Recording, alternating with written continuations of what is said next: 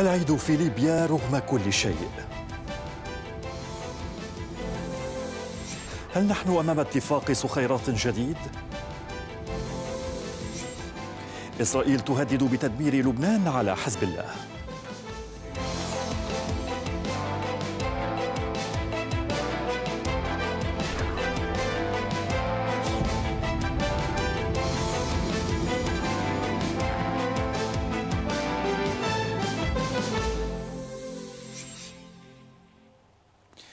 مساء الخير واهلا بكم. أضحى مبارك وكل عيد وأنتم بخير. العيد في ليبيا رغم كل شيء.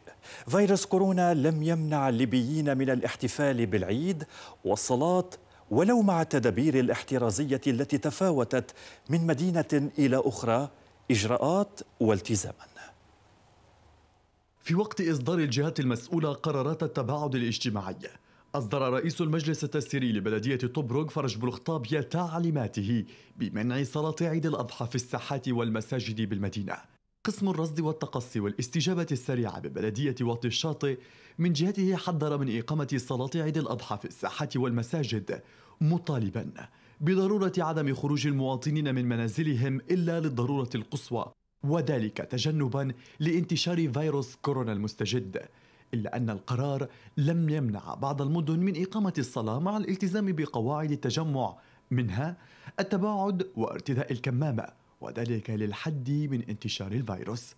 وهنا اليوم قمنا صلاة العيد في الساحات العامة ويكون متباعدين عن بعضهم ويكون لابسين كمامات وإجراءات الاحتياطيه كلها إن شاء الله افقوا بها جميع الحاضرين داخل صلاة العيد. فيما قررت الهيئة العامة للأوقاف والشؤون الإسلامية بحكومة الوفاق عدم إقامة الصلاة بالمساجد أو الساحات العامة وذلك بعد التواصل مع اللجنة الاستشارية العليا لمجابهة فيروس كورونا الذي بينت خطورة المرحلة الحالية بعد تقارير صعود مؤشر تفشي عدوى الفيروس في عدة مدن ومناطق ليبية وعدم التقيد بالإرشادات الاحترازية.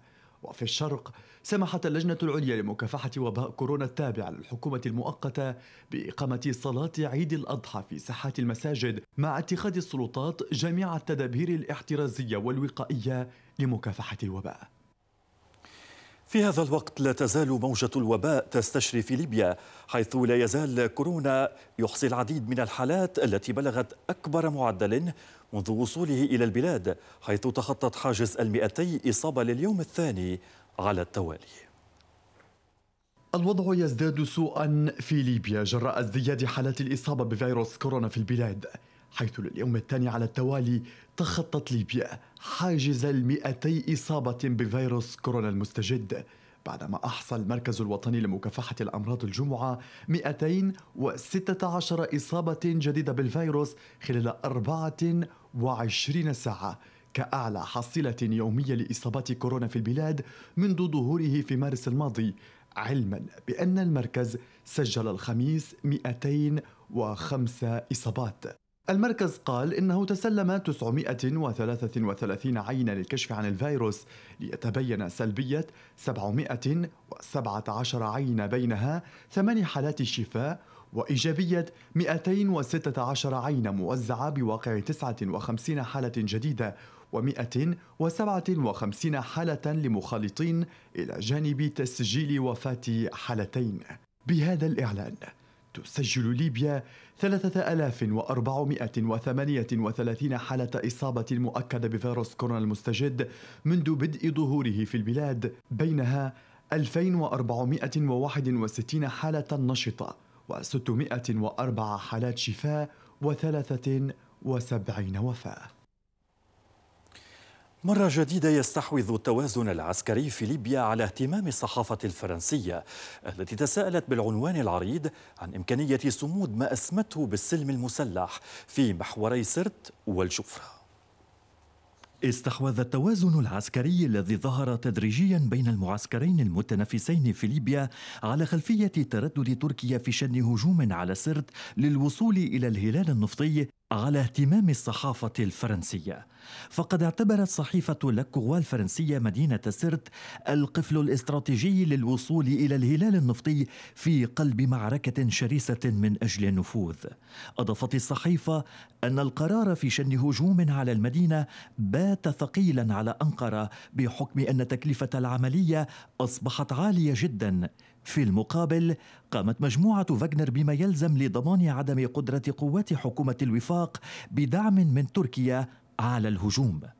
وعلى الرغم من المشهدية الضبابية هذه يستمر الحوار بين تركيا وروسيا وتعتبر الصحيفة أن أنقرة قد تكون منفتحة على خيارات أخرى لحكم سرت غير السيطرة الكاملة من قبل قوات حكومة الوفاق. وفي هذا السياق فإن الضوء الأخضر الذي أعطاه النواب المصريون لتدخل محتمل في ليبيا يقصد به أولا أن يكون رادعا.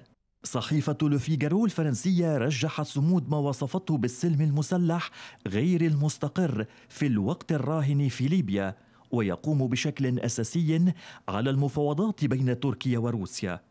في المقابل استبعد بعض الخبراء لفرانس تيفي فرضية اندلاع حرب مباشرة في ليبيا واعتبروا أن رسائل الرئيس المصري عبد الفتاح السيسي سياسية أكثر منها عسكرية بعد دخول المغرب على خط الأزمة الليبية هل سنكون أمام صخيرات ثان مع الأخذ بالمبادرات الأخيرة من قبل دول الجوار؟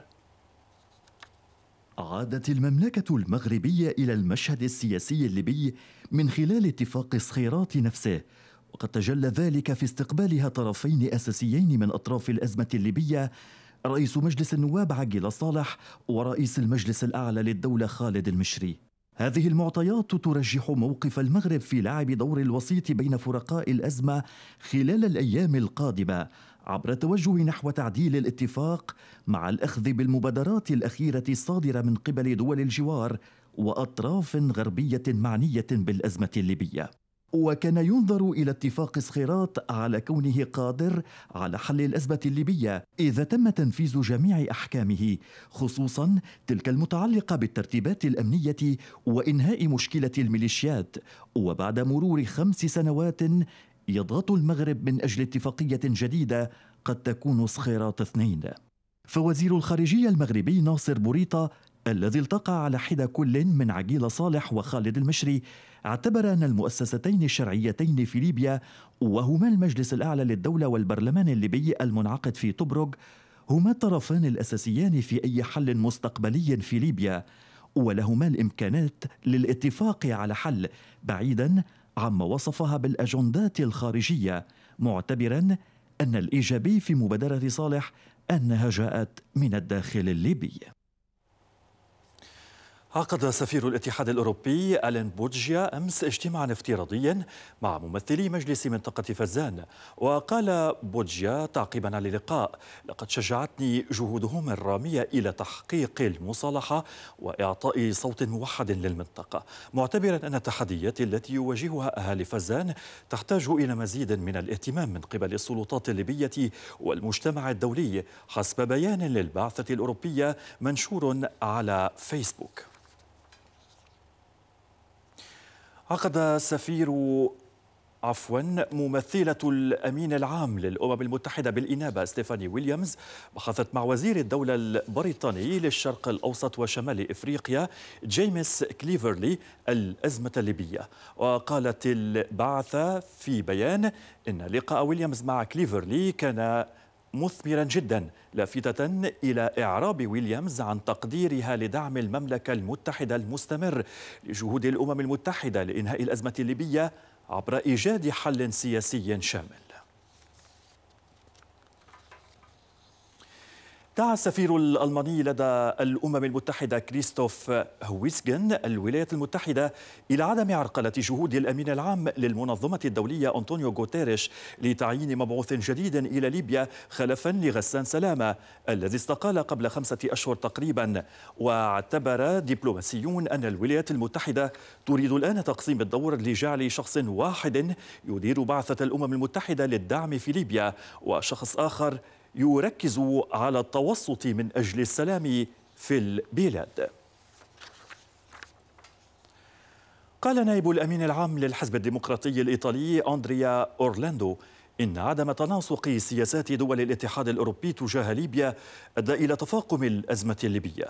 ونقلت وكالة أكل إيطالية عن أورلاندو القول إن العديد من المشاكل الليبية نتجت أيضا عن كيفية تحرك أوروبا بطريقة غير متناسقة الأطراف وباستخدام استراتيجيات مختلفة.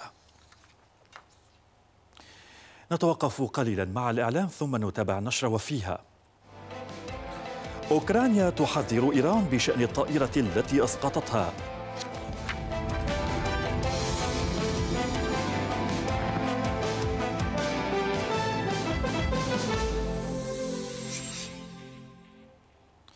أهلا بكم من جديد. رصدت دراسة وجود فيروس كورونا في الجهاز التنفسي العلوي لدى الأطفال دون سن الخامسه المصابين بالداء بكميات كبيرة جدا مقارنة بالمرضى الأكبر سنا. وتثير تلك النتائج تساؤلات جدية بشأن ما إذا كان الصغار يمكنهم نقل عدوى كورونا إلى الآخرين. يواصل فيروس كورونا انتشاره المتسارع في الولايات المتحدة وبعض دول العالم الأخرى خصوصا إسبانيا التي عادت ملامح القلق لتخيم عليها من جديد وسط تحذيرات من احتمالات أعلى لنقل الأطفال العدوى. وقالت السلطات الصحية الأمريكية إن إجمالي عدد الإصابات ارتفع إلى أربعة ملايين وأربعمائة وخمسة ألاف وتسعمائة واثنين وثلاثين وتحتل الولايات المتحدة الصدارة العالمية من حيث التأثر بفيروس كورونا على صعيدي الوفيات والإصابات. وفي إسبانيا عاود الفيروس الانتشار بأسرع وتيرة منذ إبريل الماضي مقوضا الرواية الرسمية بأن العدوى تحت السيطرة. ونصحت دول أوروبية أخرى من بينها فرنسا بعدم السفر إلى مناطق إسبانية معينة. وفي آخر البحوث المتعلقة بالموضوع أظهرت دراسة وجود كميات كبيرة من الفيروس في الجهاز التنفسي العلوي لدى الأطفال دون سن الخامسة مما أثار تساؤلات جديدة بشأن نقلهم العدوى. وتشير البيانات إلى أن الأطفال ينقلون العدوى بنسب ضئيلة ولم تجد التقارير المبكرة أدلة قوية على كون الأطفال مساهمين رئيسيين في نشر الفيروس.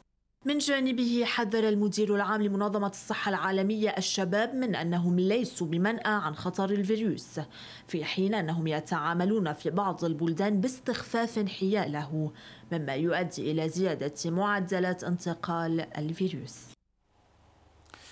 كشفت وسائل إعلام اسرائيليه ان الجيش الإسرائيلي تلقى امرا بضرب أهداف لبنانية معينة في حال قام حزب الله بتنفيذ هجوم انتقامي ضد إسرائيل. وأوضحت أن لبنان سيرى ردا اسرائيليا غير مسبوق ضده. يستهدف البنى التحتية ومنشآته الحيوية. أعلن وزير الخارجية الأوكراني ديمتري كوليبا أن كييف ستلجأ إلى الخطة باء في حال فشلت المفاوضات بشأن التعويض لأهالي ضحايا الطائرة الأوكرانية التي أسقطت بالقرب من طهران في يناير الماضي. وقال إن الخطة ألف هي مفاوضات مع إيران لحل جميع القضايا ودفع دفع تعويضات. أما الخطة باء فهي توجه إلى المحاكم الدولية وتقديم إيران إلى العدالة لتدفع جميع التعويضات اللازمة. هذا وأعلن نائب وزير الخارجية الأوكرانية في وقت سابق أنه تم فك شفرات مسجلات الطائرة الأوكرانية بنجاح على الرغم من الأضرار الخارجية. قال المرشد الأعلى للجمهورية الإسلامية في إيران علي خامنئي الجمعة إن بلاده لن تبدأ محادثات مع الولايات المتحدة تعود بالنفع فقط عن دونالد ترامب مؤكدا أن سياسة العقوبات التي فرضها الرئيس الأمريكي فشلت. وقال المرشد الأعلى في خطاب متلفز لا شك في أن العقوبات جريمة وهي ضربة من الولايات المتحدة إلى إيران. قال رئيس لجنة الأمن القومي والسياسة الخارجية في البرلمان الإيراني مجتبى ذو النور. إن مصدر الانفجار في منشأة نطنز داخلي ولا يمكننا الإعلان عن تفاصيله في الوقت الراهن. وفي وقت سابق أكد عضو في لجنة الأمن القومي في البرلمان الإيراني أن حادث نطنز ناجم عن اختراق أمني دون أن يذكر مزيدا من التفاصيل. من جانبها قالت صحيفة نيويورك تايمز إن سبب الحادث الذي تعرضت له وحدة قيد الإنشاء في المفاعل كان عملية تخريب نظمتها إسرائيل باستخدام عبوة ناسفة. رفع مجلس الشيوخ الإيطالي الحصانة البرلمانية عن ماتيو سالفيني زعيم حزب الرابطة اليميني المتطرف. ما يمهد لمحاكمته في قضية منعه دخول المهاجرين إلى البلاد أثناء وجوده في الحكومة. ومن المتوقع أن يواجه سالفيني عقوبة بالسجن لمدة تصل إلى 15 عاما. وعلق على القرار بالقول إن حماية إيطاليا ليست جريمة. نتوقف من جديد مع الإعلان ونتابع النشرة وفيها. غواصون يعملون في اليونان لإنقاذ الحياة البحرية.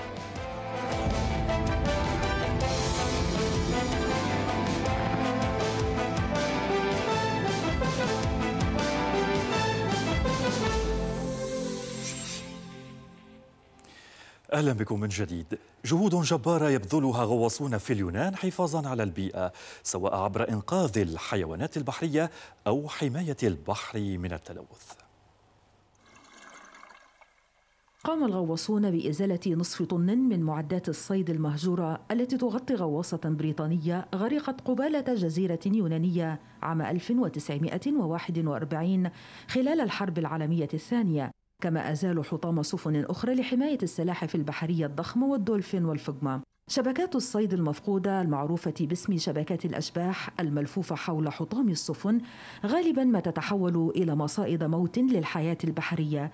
وتشير التقديرات إلى أن ملايين الحيوانات المحاصرة في شباك النايلون تموت كل عام. وفقا لمبادرة البحار الصحية التي نظمت العملية سيتم إعادة تدوير 500 كيلوغرام من الشباك المستردة إلى جانب نفايات النايلون الأخرى واستخدامها لإنتاج الجوارب وملابس السباحة والسجاد. والآن إلى الصفحة الاقتصادية مع ميرا مطر. مساء الخير ميرا. مساء الخير وليد.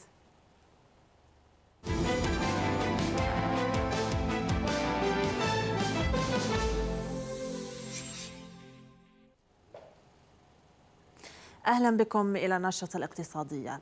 أوضحت شركة إني الإيطالية للطاقة أن أعمالها تأثرت بتراجع أسعار الطاقة وبفيروس كورونا حيث انخفض إنتاجها اليومي بنسبة 6.6% في الربع الثاني للعام الجاري بسبب الأوضاع في ليبيا. وأفادت الشركة أن إنتاجها وصل إلى 1.71 مليون برميل يوميا وأشارت إلى أن مستوى الانخفاض في الإنتاج في خلال النصف الأول من العام الجاري كانت نسبته 5.1%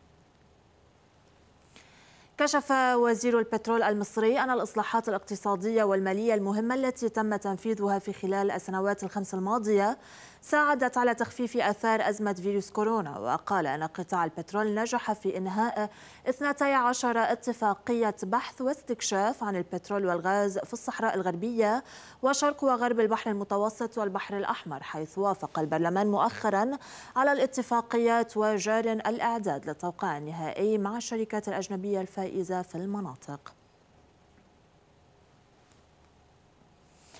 أعلن الرئيس التنفيذي لمصرف HSBC في مذكرة للموظفين أن المصرف البريطاني تعهد بمضاعفة عدد موظفيه السود في المناصب الإدارية بحلول عام 2025 وعقب حركة Black Lives Matter بدأ المسؤول مناقشات مع موظفي السود لفهم مخاوفهم بشكل أفضل وسماع اقتراحاتهم.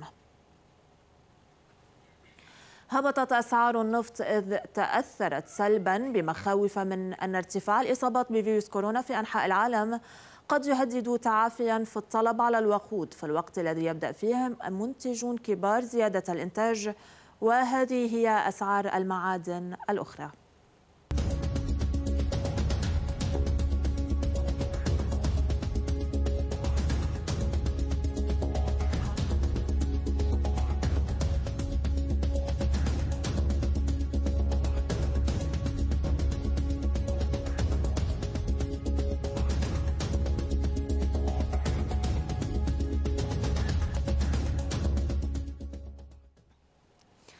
بعد حالة من الارتفاع المفاجئ شهدت السوق الموازية تسجيل الدينار الليبي ارتفاعا أمام العملات الأجنبية حيث صعد أمام الدولار واليورو والجنيه الاسترليني وماذا في البورصات العالمية؟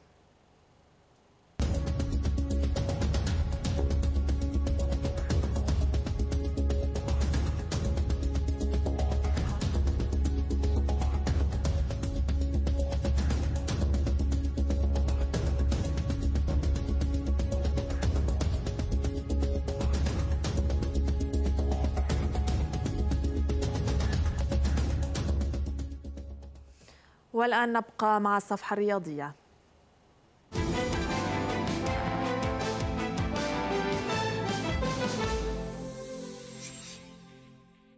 صعد فولام إلى نهائي ملحق الترقي للدوري الإنجليزي الممتاز رغم خسارته بهدفين مقابل هدف واحد أمام ضيفه كارديف سيتي بعد أن تفوق على منافسه بثلاثة أهداف مقابل هدفين في مجموع المباراتين.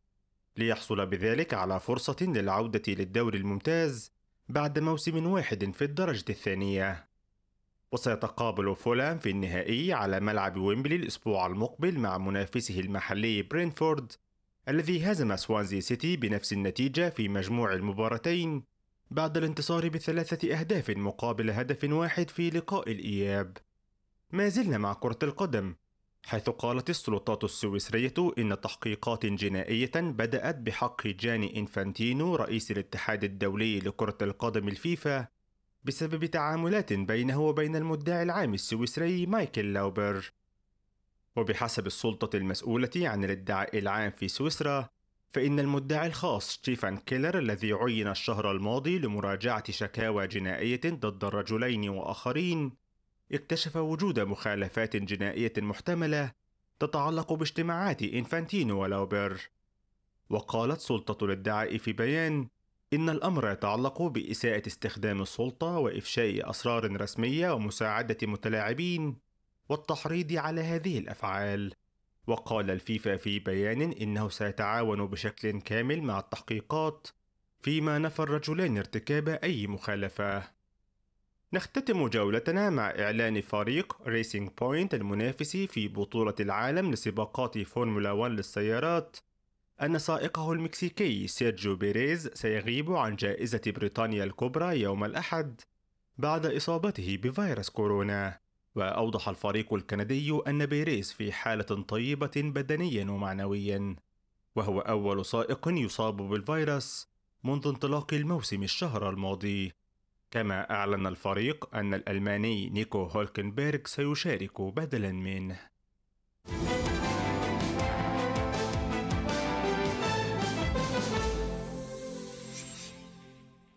والآن إلى الكاريكاتير